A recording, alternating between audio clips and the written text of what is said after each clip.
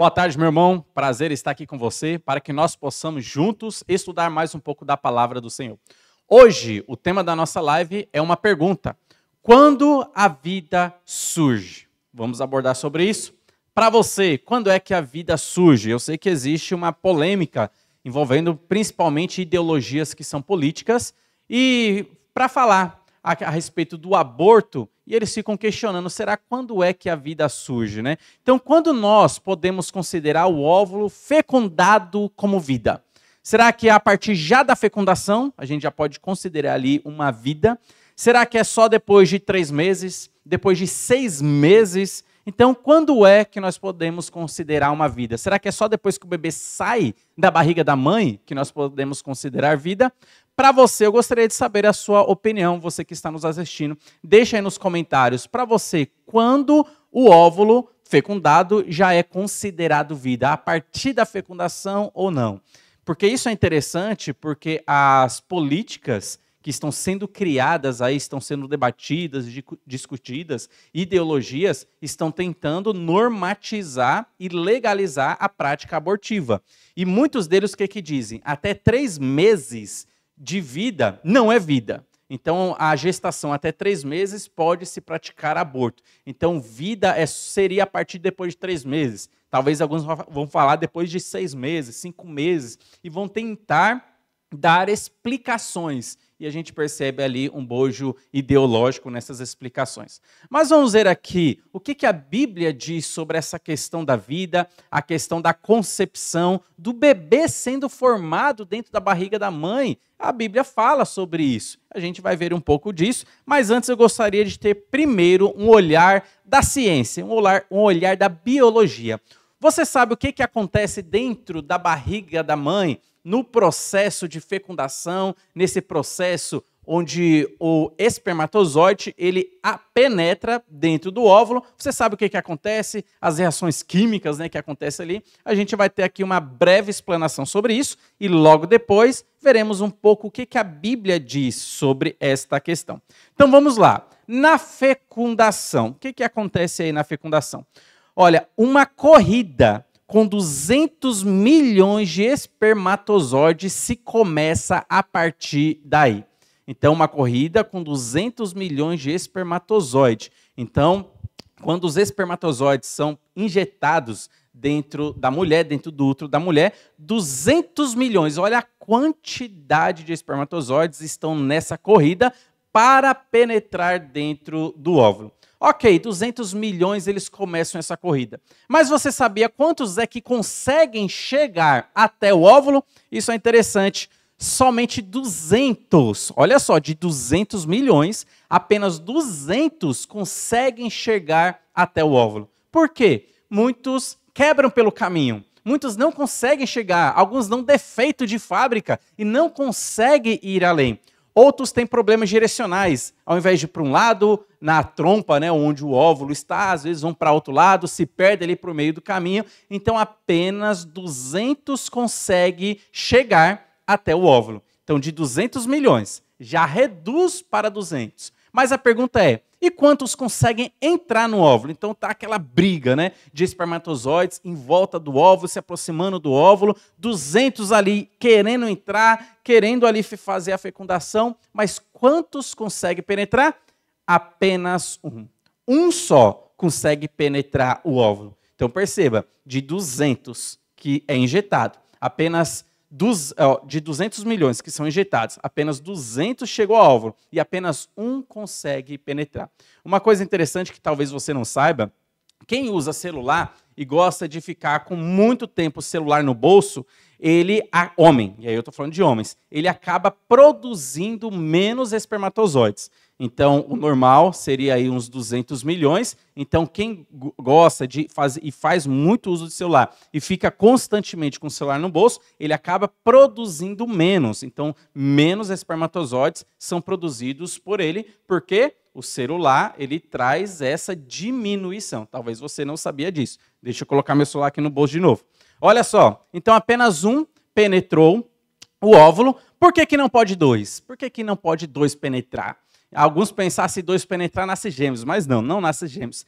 Olha só, se dois espermatozoides conseguisse penetrar no óvulo, você teria morrido. Você não estaria aí, você teria morrido já, você nem nasceria. Porque o óvulo ele entra em colapso, ele entraria em colapso se dois espermatozoides penetrassem dentro do óvulo. E a vida da mãe, evidentemente, estaria em risco, né? Com esse colapso que aconteceria nessa penetração. Então, o que, que acontece para que dois não penetrem? Olha só, meus irmãos, quando o primeiro espermatozoide ele consegue penetrar o óvulo, o óvulo ele se endurece. Então, automaticamente ele se endurece porque há uma reação química ali. Então, ele recebe uma pancada de zinco e automaticamente, pá, ele fica duro. Quando o primeiro entra, ele endurece, tum, e os outros não conseguem penetrar. Você percebe como Deus, ele é um ser totalmente inteligente e ele antevendo os problemas que poderiam acontecer, ele de antemão já trouxe a solução. Deus ele já sabia, olha, se eu deixar o óvulo mole daquele jeito e um penetrar, outro penetrar, outro penetrar, acaba a vida, não tem vida. Então Deus ele já trouxe para nós a solução. Quando o óvulo então é penetrado, ele é endurecido com uma descarga de zinco. Então, uma descarga de zinco é feita ali, ele endurece e o segundo espermatozoide não consegue penetrar, porque se ele entrasse, se ele penetrasse, a vida não seria possível. Deus, antevendo a situação, já trouxe a solução. A gente vê a grandeza de Deus em toda a formação do homem, desde o ventre da mãe. Ok, então, meus irmãos, ali é ali que nós vamos dizer que ali, naquele momento em que o espermatozoide ele penetrou no óvulo, ali se começa a vida. Então não é depois de dois meses, não é depois de três meses, é ali, no momento da fecundação, ali se começa a vida. E o que é interessante notar, porque naquele momento que foi fecundado, ali já tem todas as informações genéticas para o desenvolvimento humano, para o desenvolvimento daquela pessoa. Então não é apenas um amontoado de célula. Não existe a possibilidade daquele embrião, daquele óvulo fecundado que acabou de ser fecundado, de crescer e virar um cachorro, de crescer e virar um animal, de crescer e desenvolver na barriga da mãe um pássaro. Por quê? Nós sabemos que todo código genético já está ali, toda a informação genética, e ele vai desenvolver virando um ser humano. Então, ser humano, a vida já começa na fecundação. Interessante notar que logo depois da fecundação, então, é chamado aquele óvulo com o espermatozoide dentro de zigoto. Ali, aquele zigoto ou espermatozoide ou óvulo fecundado, ele entra em processo de simbiose com a mãe. O que é esse processo de simbiose? Processo de simbiose é quando um corpo estranho vive como parasita dentro do seu corpo, se alimentando do seu corpo, recebendo nutrientes do seu corpo para que ele possa sobreviver. Então, esse é o processo de simbiose. Então, aquele óvulo fecundado, ele está num processo agora de simbiose com a mãe. Não pertence ao corpo da mãe. É um corpo diferente, é um corpo estranho. E olha só, você que também já estudou aí é, ciências, biologia, você sabe que quando algum corpo estranho entra no nosso corpo, o que que o nosso corpo, aí a nossa natureza de defesa, o nosso sistema imunológico, o nosso sistema de defesa, o que que ele faz? Ele vai tentar expelir esse corpo estranho. Então, se você recebe aí um vírus, está gripado, o que, que o seu corpo vai fazer? Ele vai produzir anticorpos específicos para combater esse vírus que você contraiu. Então, um corpo estranho vivendo dentro de você, se alimentando de você, o seu corpo vai então trazer uma reação de defesa. É isso que o corpo da mãe faria com esse zigoto, com esse óvulo que já está fecundado. Porque está em processo de simbiose, o corpo dela já percebe: isso aqui não pertence a mim. Isso aqui é um corpo estranho, um corpo diferente que está vivendo em mim. Então, o corpo da mãe rejeitaria, o corpo da mãe expeliria para fora. Só que Deus, antevendo os problemas e ele sabendo que o corpo humano ele tem essa capacidade de autodefesa, o que, que ele também já fez? O corpo da mulher, nesse processo e nesse período da concepção, ela produz vários hormônios. Então a mulher ela vira uma bomba, né? uma explosão de hormônios. E vários hormônios são produzidos essenciais para que a gravidez se mantivesse. Então, hormônios são produzidos na mulher para que o corpo enganar o corpo dela, para que o corpo dela aceite aquele corpo estranho que está vivendo em processo de simbiose dentro dela. Então, hormônios são produzidos para que o corpo dela não expelisse para, fora aquele óvulo fecundado. Você percebeu como que a, a vida começa já na fecundação? Se não fosse esses hormônios que a mulher ela produz, o corpo da mulher produz, a, aquele óvulo fecundado seria expelido, porque o que o corpo está dizendo não faz parte de mim.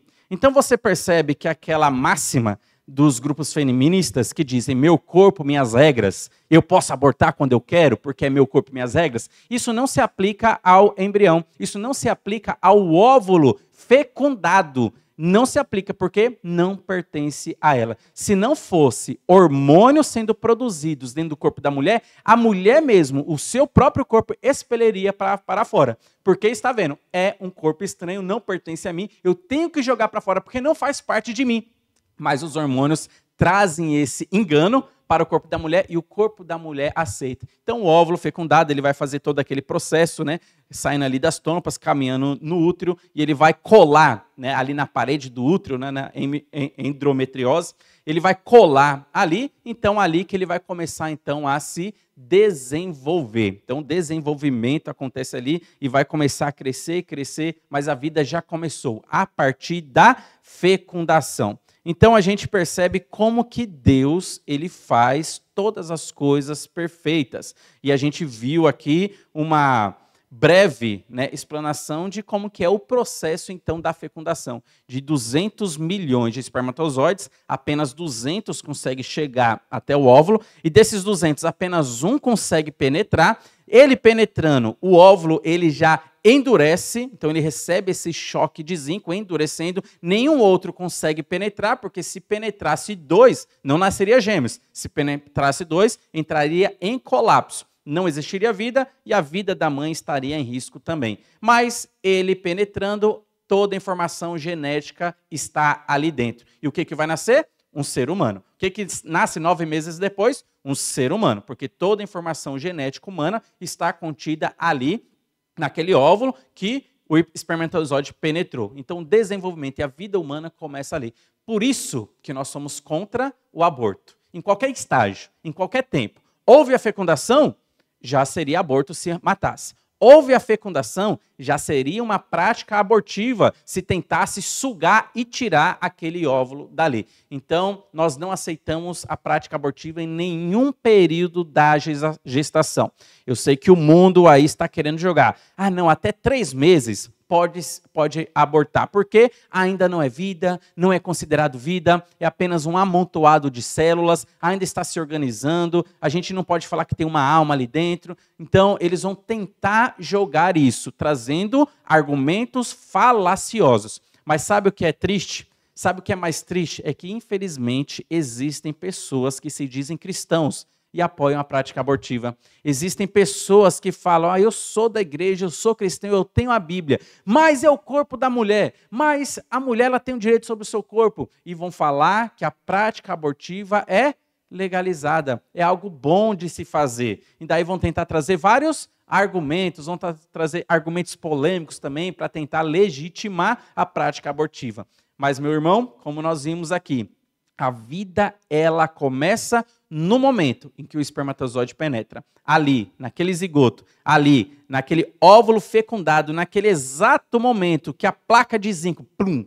endureceu o óvulo, ali está uma vida, ali estava você. Ali estive eu, um período da minha vida no ano de 1990. Então, nós todos passamos por esse processo e foi ali o nosso surgimento.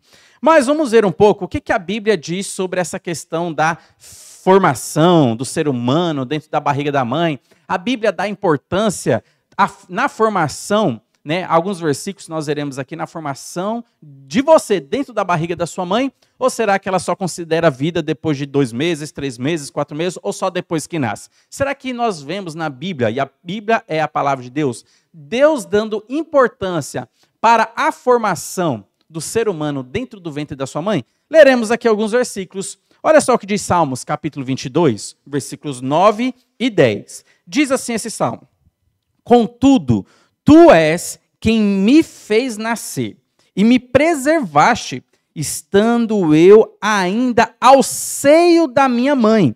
A ti me entreguei desde o meu nascimento, desde o ventre da minha mãe, tu és o meu Deus. Olha só, desde o ventre da minha mãe, tu és o meu Deus. Meu irmão, Deus é Deus do óvulo fecundado. Deus é o Deus do zigoto. Deus é o Deus da vida. É Ele quem produz a vida, é Ele quem preserva a vida. E aqui o salmista está dizendo: desde a barriga da minha mãe, desde que eu estava sendo formado, o Senhor já era o meu Deus.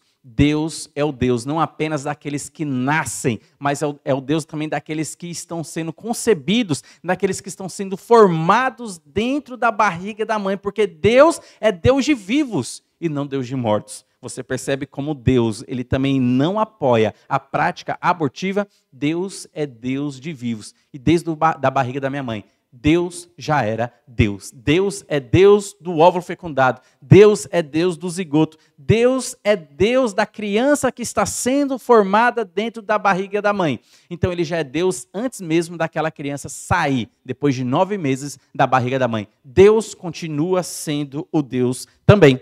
Outro versículo, olha só ainda em Salmos. Salmos fala bastante sobre concepção, fala bastante sobre formação dentro do ventre da mãe, sobre nascimento. E aqui tem um outro versículo também, que é o Salmo 71, versículo 6, diz assim: Em ti me tenho apoiado desde o meu nascimento, do ventre materno tu me tiraste.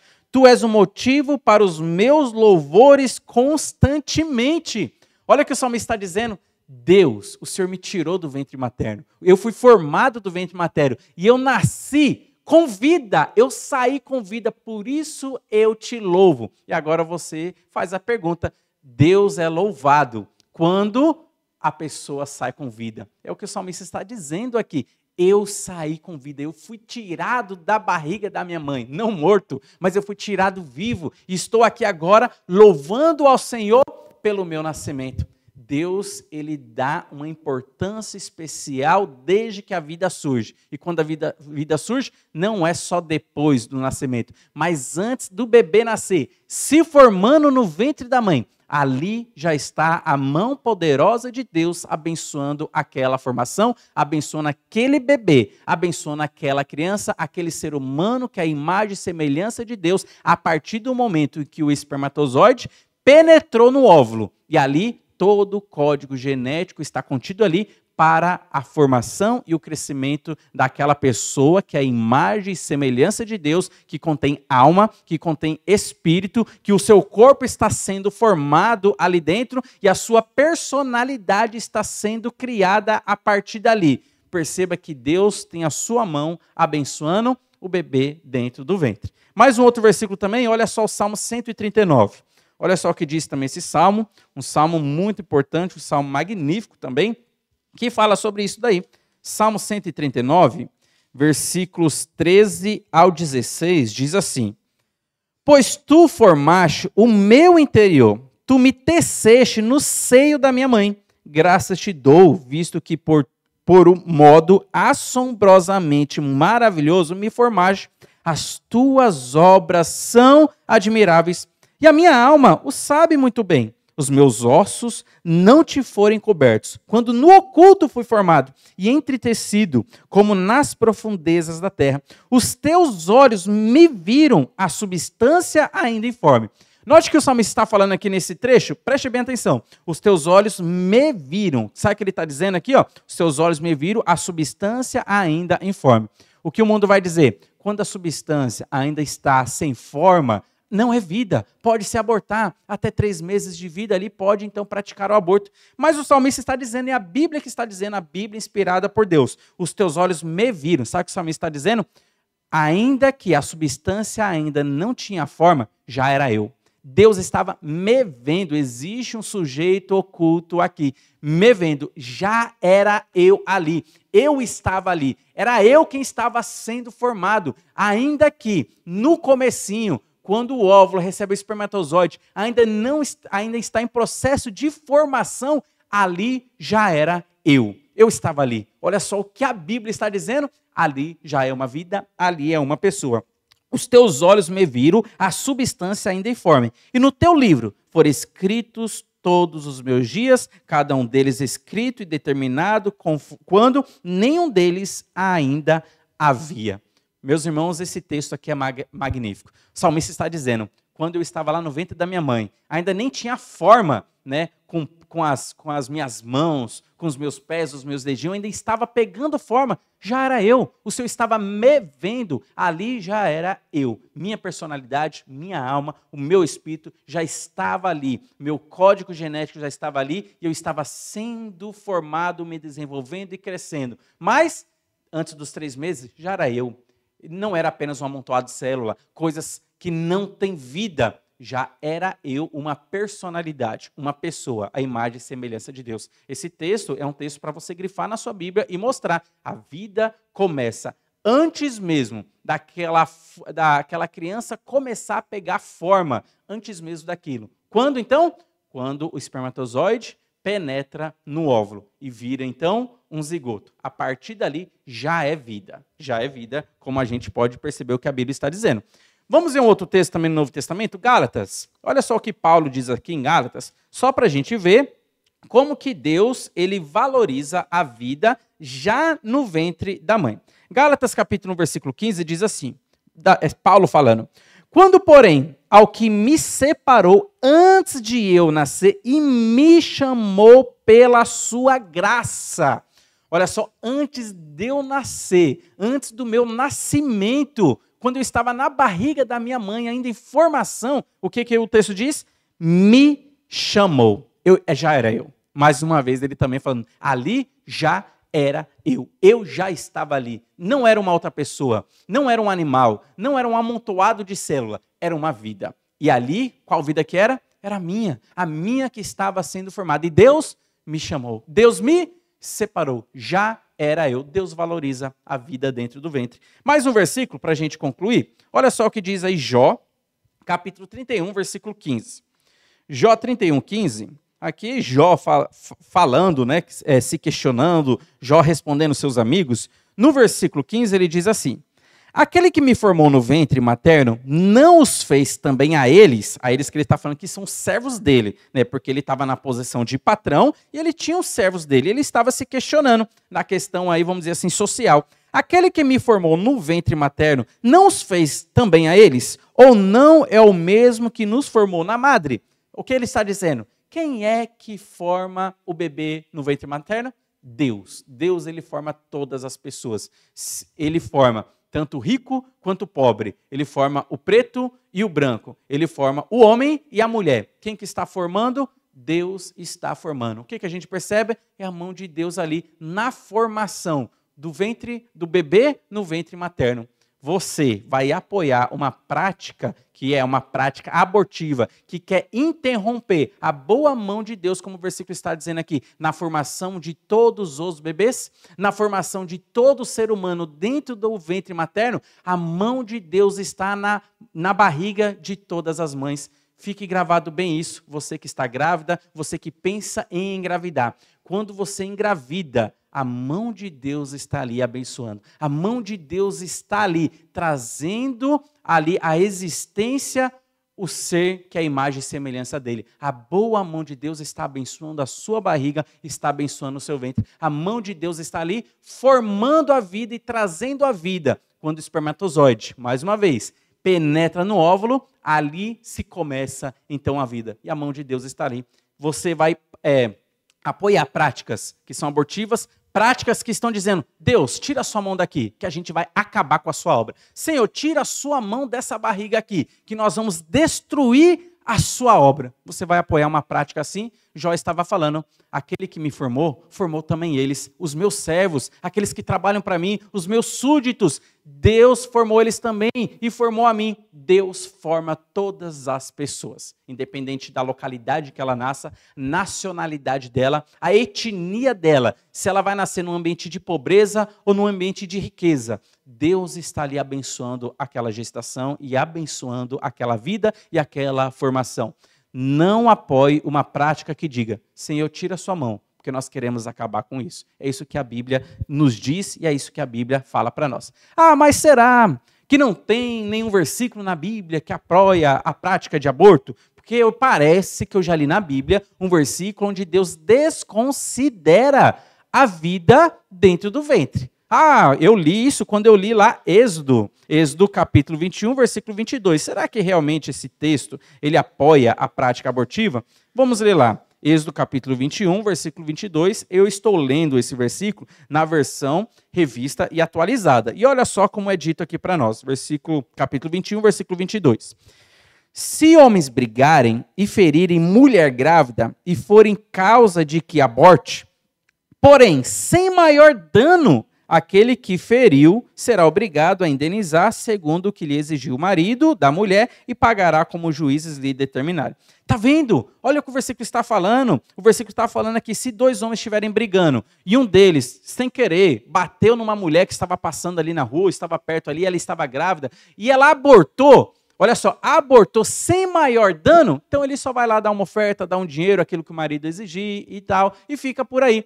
Olha só como a Bíblia não está dando o devido valor àquele bebê que está ali, aquela vida que está ali dentro, porque foi abortado e Deus falou sem maior dano. E daí a gente fica naquela pensando, será que realmente Deus não dá o valor? Meus irmãos, quando nós lemos esse versículo, tanto na versão corrigida, quanto na versão aqui atualizada, como estou lendo aqui, pode parecer que Deus não está dando o devido valor. Só que uma melhor tradução para esse versículo, que deixa a situação mais clara, a gente vai perceber, Deus sempre deu valor à vida. Aqui, quando fala aborto, não está falando de morte. E eu gostaria de ler esse mesmo versículo, e eu projetei aqui na sua tela, na NVT, então, nova versão internacional. Você também poderia ler na NVI, nova, a, NVI, que é a nova versão internacional, NVT, nova versão transformadora. E aqui eu projetei na NVT para você perceber o que realmente o versículo está falando. Será que o versículo está falando daquele bebê que morreu né, na barriga da mãe, então só dá uma ofertinha e só isso e não foi sem dano maior? Olha só o que diz aí nesse versículo. Se dois homens brigarem e um deles atingir por acidente uma mulher grávida e ela der à luz prematuramente, sem que haja outros danos. Opa, o entendimento aqui já mudou. Perceba que o versículo está falando e a ordem que Deus está dando, as leis que Deus está criando, é para defender a mulher e a gestação. Então, o que, que Deus está dizendo aqui? Olha, se dois homens estiverem brigando e um jogar uma pedra, e a pedra, sem querer, bateu na barriga da mulher que ela estava grávida, e acontecer ali que ela ter o filho prematuramente, antes do tempo, nasceu aí com seis meses, sete meses, oito meses, antes do tempo, sem maior dano. Qual seria o maior dano? A morte. Então, qual seria o maior dano? A deficiência física que talvez aquela criança poderia nascer. Então, é isso que Deus está falando. Nascer prematuramente. Então, quando está lá na sua versão corrigida e na sua versão atualizada a palavra abortar, o aborte, não está se referindo à morte em si, mas está se referindo ao nascimento prematuro. Então, esse termo é aplicado né, na Bíblia. Tanto que Paulo ele fala, é, aplicando esse termo abortivo, né? Eu sou apóstolo, mas como um abortivo, né? Nasci fora do tempo. Ele não está falando que ele morreu, ele está falando que ele nasceu antes do tempo. Né? Então, ele nasceu antecipadamente. Teve as dificuldades aí na concepção, na gestação, teve as suas dificuldades. Então, note que a Bíblia não tem nenhum versículo que apoie a prática abortiva. Não tem, não tem nenhum versículo. Mas para terminar, o que, que é que a Bíblia diz? E a gente bate o martelo aqui. A palavra de Deus diz assim em Gênesis: Também disse Deus: façamos o homem à nossa imagem, conforme a nossa semelhança. Criou Deus, pois o homem, a sua imagem, a imagem de Deus o criou. Homem e mulher os criou. E Deus os abençoou e lhes disse: Sede fecundos, multiplicai-vos e enchei a terra.